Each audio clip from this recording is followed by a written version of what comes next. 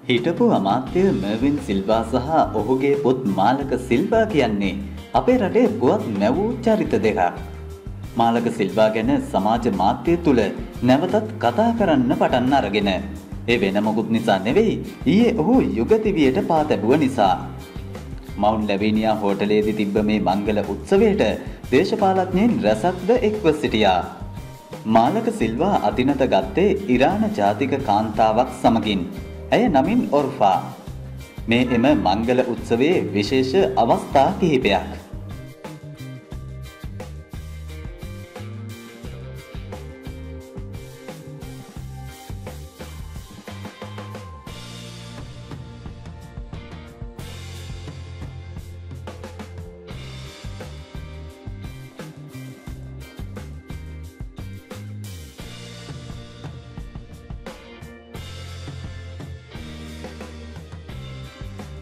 දිනපතා අලුත්ම පුවත් දැනගැනීමට පහත බටන් එක කලික් කර අපව සබස්ක්‍රයිබ් කරන්න.